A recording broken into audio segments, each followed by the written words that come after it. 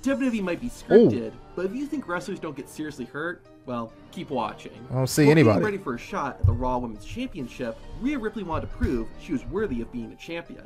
What better way to do that than by taking on Nia Jax live on Raw? The two had a good match, but at one point, Ripley accidentally cut Jax near her eye. As the fight continued, Ouch. the cut became worse and worse until almost half of Nia Jax's face was covered in blood.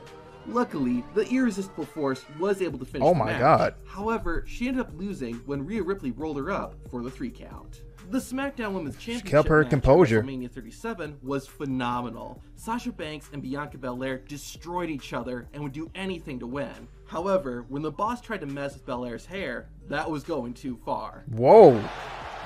Oh, my God! Oh, I heard that. painful as it sounds. Immediately, Banks had a mark where Bianca Belair's hair whipped her.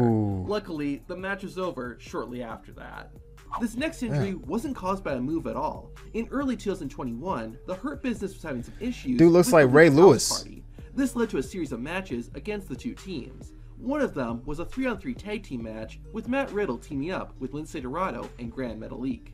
While the match started competitive, MVP, Cedric Alexander, and Shelton Benjamin eventually got things under control and isolated Grand Metalik from his tag team partners. One mistake was all it took though, and the Luchador was able to tag in Matt Riddle. Why is this guy not wearing any shoes though? That's what I want to know. Things went from bad to worse. When MVP came running into the ring, his right knee suddenly blew out. It was clear that something Oh. was wrong, as MVP had to hop around Oh, for the definitely. rest of the match. To throw salt into the wound, the Hurt Business ended up losing the match. Luckily, MVP continued to appear on TV, even though he couldn't wrestle. Turned to a pimp. This must have been when the uh, pandemic was going on. At WrestleMania 37, Sheamus won the United States Championship. One of the Celtic Warriors' first challengers was Humberto Carrillo, and the two would compete in several matches. One of them had a painful ending, however. Humberto and Sheamus were wrestling like normal when Carrillo went to perform a sunset flip on Sheamus. Oh. Unfortunately, Sheamus' entire body fell directly on Humberto's left leg. Oh. Luckily, the injury wasn't too serious, and Humberto Carrillo was able to wrestle again soon. Oh, okay. Unfortunately, another injury would occur. A few weeks after Humberto's injury, Sheamus was wrestling Ricochet. Thanks to some help from Carrillo, Ricochet was able to pin the US champion. This set up a second match between Sheamus and Humberto Carrillo, and this is where things went very wrong. The luchador punched the Celtic Warrior in the face, but accidentally hit Sheamus on the nose. Oh. Within seconds, Sheamus was bleeding. It only got worse as the match continued, and Sheamus began to look like a monster in a slasher movie. On top of that, Sheamus also lost the match. Following the injury, Sheamus would have to Oh. undergo surgery and wore a protective mask while his nose healed. Dang. After losing the Women's Tag Team Championship, I mean, I guess injuries do happen in the sport. I guess sometimes it feels like, you know, it is all fake, but, you know, mistakes always happen, though. At the Royal Rumble, Asuka and Charlotte Flair got a chance to avenge their loss a few weeks later. The Queen and the Empress teamed up to take on the women who had taken their titles, Nia Jax and Shayna Baszler. After fighting for a while, the Empress of Tomorrow got Nia on the mat and locked in the armbar. The Queen of Spades came to her tag team partner's rescue and kicked Asuka in the face. Baszler accidentally hit a bit too hard, and one of Asuka's teeth went flying Oh, no! of course, this wasn't planned. Because of it, the Empress of Tomorrow had to take a short amount of time off to recover. Before Daniel Dang. Bryan was released from WWE, he had a series of great matches with Cesaro. The two gave it their all, but things did go wrong. During one of their matches on SmackDown, Daniel Bryan hit Cesaro with a huge missile dropkick shortly after the match started. Somehow, the move created a cut on the side of Cesaro's head. Mm. At first, it didn't seem too bad, but it quickly got worse and worse. By the end of the match, the cut was looking pretty nasty. Jesus. Despite the loss of blood, the Swiss Superman managed to win the match. He looks like Jason Statham a little bit. But I'm thinking what happened is when he went to go kick him, he cut like a vein on his head, and that's what caused the blood to come out. On NXT, Roderick Strong issued an open challenge. Perhaps to Strong's surprise, he got an answer from Russia. Ilya Dragunov took Roderick Strong up on his offer, and the What a cool last it. name. Dragunov took Strong Dragunov. to his version of Suplex City, but Ilya accidentally did some damage to himself. Roderick Strong fell on Ilya Dragunov's head, Oh. which caused the Russian wrestler to start bleeding between the eyes. Almost knocked himself out. worse as the match went on, but the pain was worth it, as Ilya Dragunov won the match. Damn. The cut was so bad, however, that Dragunov needed stitches afterward. Be prepared to cringe in three, two, What is that move called? Like a suplex? You have to really know what you're doing because I feel like that's happened so many times in not only WWE but in MMA. I've seen people knock themselves out doing that. During a six-woman tag team match on Raw, Becky Lynch started messing with her opponent, Bianca Belair. Bro, is she still whipping people with her hair? It didn't work out well for Becky. Moments after the hair whip, a huge red mark formed on Lynch's stomach. It didn't put Becky Lynch out of action, but ah. that had to hurt. The next time Becky and Bianca would face off in the ring was at WrestleMania 38. Unfortunately, someone suffered a nasty injury during this match too. Ooh. At one point, it looked like Becky was trying to perform a vertical senton. Something was off, and the only thing that connected was Becky Lynch's boot with Bianca Belair's face. Ooh. Despite the painful accident, Belair continued the match and ended up winning the Raw Women's Championship. It looked like Bianca was fine, but the next night on Raw, we saw just how extensive Belair's injury Oh, was. wow. Her left eye looked terrible, but despite that, She took Bianca it like a champ, though. Still in good spirits.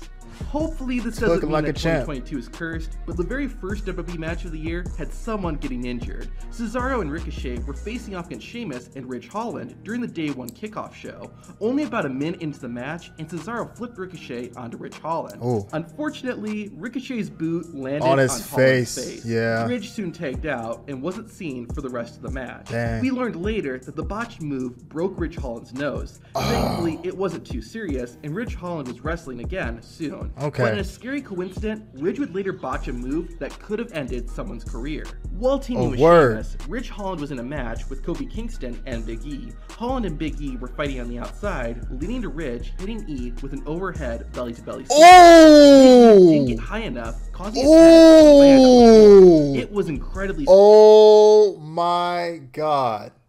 Oh, dude, he landed right on his neck, man. Scary to see, and Oh. the accident caused Big E to break his neck. Oh, he Big broke his neck. He broke his neck. Oh my god. Yeah, that looked like it was kind of weird when he did that move though, because he didn't get him high enough. And he, oh my gosh. It was thankfully discovered that Big E's spinal cord wasn't injured and he would not need surgery. Thankfully. However, as of right now, E has not wrestled since that match. I don't Drew blame him. McIntyre began 2022 by feuding with Happy Corbin and Madcap Moss. Their rivalry went on for a few months and included a match at Elimination Chamber. At the event, McIntyre took on Moss Oh. in a Falls Count Anywhere match. Even though they could fight anywhere, the most painful moment of the match actually happened in the ring. The match had only been going on for a few minutes when Drew McIntyre planned Madcap Moss with an Alabama slam. Oh. Something went oh. wrong because Madcap landed headfirst. Oh the my the God. Most part is that Madcap Moss walked it off and continued the match like the whole thing didn't happen. Ah, In his WrestleMania debut, Rick Boogs had the huge honor of being part of the opening match. Jesus. Boogs teamed up with Shinsuke Nakamura to challenge the SmackDown Tag Team Champions, the Usos. Shinsuke started the match, but after a bit of fighting, tagged out with Rick Boogs. Rick was running wild, but his rampage came to an abrupt stop when his knee suddenly gave out when he lifted both Usos. Boogs quickly tagged out with Nakamura. It turned out that Boogs tore his quadricep and hasn't been in action since the injury. wow. February 2022, That is horrible. Oh my goodness, man. Um that probably isn't as bad as breaking your neck, but that still looked really painful. Oh my gosh. Randy Orton and Matt Riddle found themselves in a tag team match against the Street Profits on Raw. The match was going smoothly until the finish. Montez Ford performed his signature frog splash on Orton, but Ford's position was off and he landed on Randy's shoulder. Yeah. The Viper was clearly in pain after the botched move, but thankfully it wasn't anything serious. Damn. On SmackDown, Natalya took on Shayna Baszler in a one-on-one match, but Ronda Rousey was in Baszler's corner. Baszler didn't need any help though, as she's able to beat her opponent on her own. After the match, though, Rousey told Shayna the job wasn't finished yet, leading to the Queen of Spades nailing Natalya with a knee to the face. The move actually did connect, though, and Ooh. Natalya's nose was broken Oh. and bleeding. Oh. Unfortunately, the accident actually dislocated Natalya's nose, and it required her to undergo surgery. SummerSlam 2022 kicked off with Becky Lynch challenging Bianca Belair for the Raw Women's Championship, which was a rematch from WrestleMania 38, which was a rematch from the previous year's SummerSlam. Oh. However, only about three minutes into it, Becky fell on her right shoulder. The landing caused Lynch's shoulder to pop out of its socket. Oh. clear Becky was in pain. Oh. She kept checking on it throughout the match. The injury became more and more visible. Oh my god, yo, that's crazy. That is crazy. Her bone is literally out of her shoulder. That is insane. Best, but Lynch didn't let it stop her, and she got the job done. In November 2022, R-Truth wrestled his first match on NXT since 2011, but it turned out to be a bad decision. During the match, Truth performed a somersault to his opponent on the outside. That just Truth looked wrong. The top rope though, and didn't jump far enough, causing him to crash hard onto the floor. Damn. The former 24/7 champion grabbed his left leg, and the referee soon called off the match, and R-Truth was helped backstage. It was later found tore? out that the accident tore Truth's quad, and he needed to undergo surgery. Oh, tore One his of the defining quad. images of 2022 was Cody Rhodes' gruesome torn pectoral muscle. Oh, you tore his pec. Man. Oh my gosh. These are getting way like these are getting increasingly worse as the video goes on. How did he actually get injured? On the Raw before Cody's Hell in a Cell match with Seth Rollins, Rhodes and Rollins got into a brawl. During the fight, Cody tore his right pectoral tendon. That mm. was bad enough, but a few days later, while weight training, Rhodes tore the tendon completely off the bone. That's why the injury looks so bad when fans saw it at Hell in a Cell. Additionally, the reason WWE allowed Cody Rhodes to wrestle was that he couldn't do any more damage. Nevertheless, the injury sidelined Cody Rhodes for the rest of the year. This injury was pretty unique. On Raw in June 2022, Alexa Bliss, Liv Morgan, Rhea Ripley, and Doudrop fought in a fatal Oh four my gosh. The winner got to face Bianca Belair at Money in the Bank for the Raw Women's Championship. At one point in the match, Morgan gave Bliss a kick to the gut, which caused Alexa to DDT Ripley. What Ooh. actually hurt Rhea, though, was her own knee. Ripley's boot got caught on the rope, which caused her face to collide with her leg. Oh, it didn't oh, okay. seem so bad Okay. until Rhea Ripley shared a picture of the damage the accident caused Ah. to her mouth. On top of that, the injury also gave Ripley a concussion. Thankfully, after about a month on the sidelines, Rhea was back in action. Not all WWE injuries happen on TV. During a triple threat match, Dude, so she was back in a month's time. I don't know what like the concussion protocol is when somebody does receive one, but is that the standard like length that you have to be gone before coming back to whatever you're doing? Someone in the comments tell me.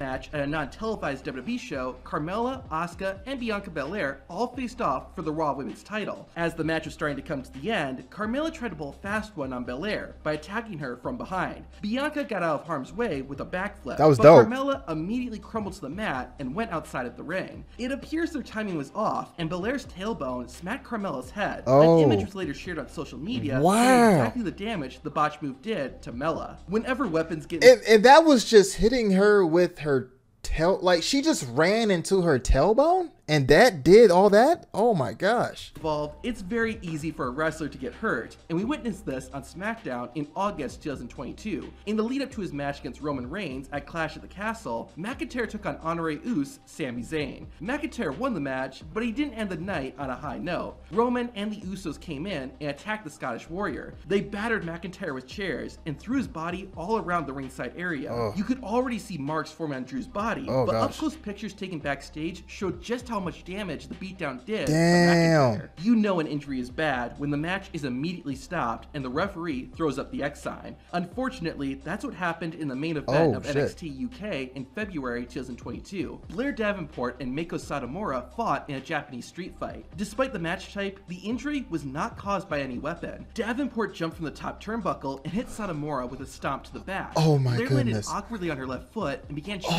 in pain. Oh. Within seconds, the referee called for the bell and gave the X sign, signaling that this injury was real. Dude, I thought for two seconds, I thought the way that she was laying outside of the, the mat, I thought it was just like her head.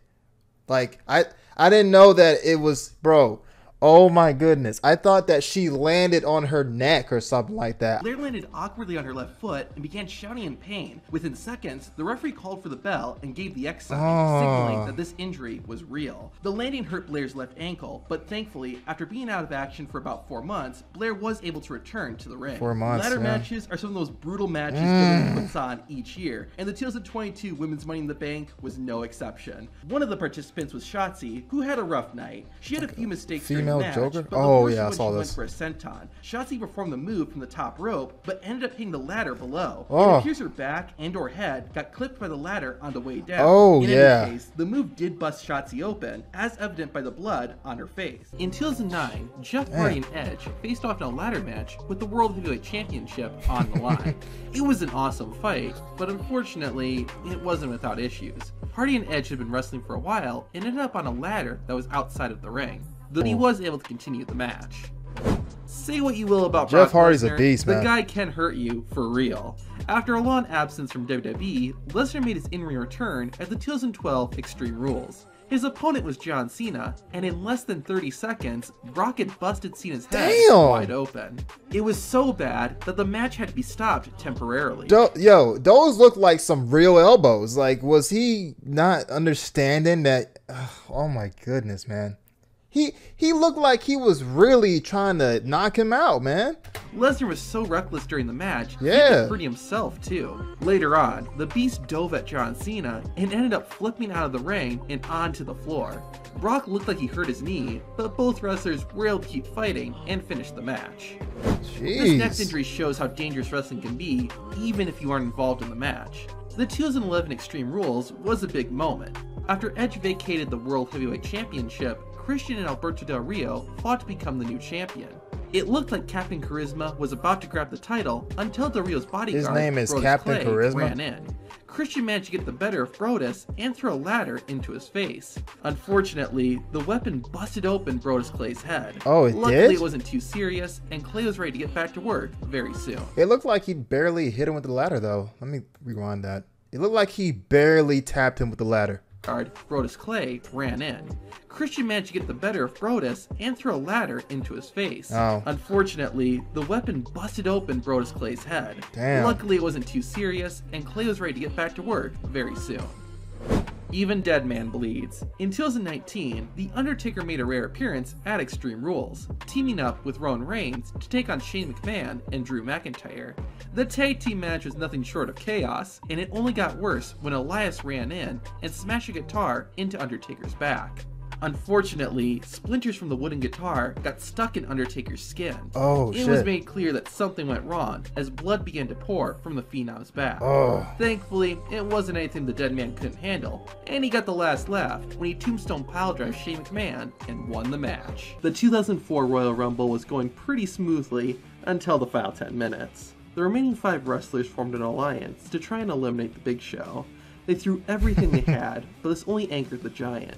Show eventually fought back and used his monstrous strength to catapult John Cena This is- over the top rope. This looks really. Oh my god! bent his knee awkwardly when he landed, and it resulted in him tearing his MCL. MCL? Even though he had to wear a knee brace for a while and was temporarily limited with what he could do in the ring, Oh. Cena continued to compete, even appearing on SmackDown only five days after his injury.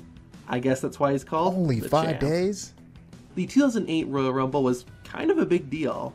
It was held in Madison Square Garden. Michael Buffer was the guest announcer. It was the first WWE pay per view in HD, and Shawn Michaels and Undertaker were the first two entrants. Everything was fine until the fourth participant, Hardcore Holly, got into the ring. Michaels was lying on the mat, so Holly decided to assault him with a few stomps. Pretty normal wrestling stuff. Oh. But one of those boots landed straight Yeah. on HBK's face. Yeah, right on his After face. laying low for a short while, the showstopper got back into the action. At first, it didn't look so bad, but that changed pretty quickly as blood began to pour from Shawn Michaels' nose. Even with this, Michaels continued wrestling for roughly half an hour before being eliminated, all with a bloody and probably broken nose. It's interesting looking back at CM Punk's Jesus. final days in WWE now that we have insight into what was going on. When the voice of the voiceless entered the 2014 Royal Rumble, he was upset with things backstage and was also suffering from a staph infection, so before the bell even run, Punk was not in the best place. This is made even worse when the number 8 entrant, Kofi Kingston, got into the ring. In signature fashion, Kofi got started by hitting a clothesline. Boom. Yo, that was a dope move. normal, CM Punk later revealed that he actually got a concussion from it. Oh. To make matters worse, Punk wrestled for another 40 minutes before being eliminated, and also received a chokeslam from Kane through one of the announcers' tables. Wait, wait, wait. He said that he got a concussion when that happened. How did he still manage to like pull through this whole match, you know? If you got a concussion, I feel like you just have to at least sit down for a few minutes, you know? You're probably done. I can't speak for the man, but I'm guessing he isn't too fond of this night. While all these injuries were unfortunate, this one may be the saddest. Having made his WWE debut seven months earlier, the 2003 Royal Rumble was going to be Chris Nowinski's first appearance at the event. He entered very early at the number 3 position and wisely decided to stay on the outside for a while. Eventually, when the moment was right, he slid into the ring and began getting his hands dirty. As the match continued, Rey Mysterio and Edge went to double team Nowinski and got on opposite turnbuckles to hit dueling missile drop kicks. However, Oh, their timing was off, oh. and Edge ended up landing on the Harvard graduate's head. Oh, yeah. Instantly, you can tell Chris Nowinski was in pain, and thankfully, he was eliminated not long after. He would Ugh. still wrestle for a little while after this, but ongoing post concussion symptoms ultimately led him to retire. Ongoing post concussion symptoms, that dude could very well have some brain damage. retire. After his classic rivalry with Bret, Stone Cold began feuding with another member of the Hart family, Owen. After squaring off in tag team matches, Stone Cold the two finally went one on one at the 1997 SummerSlam.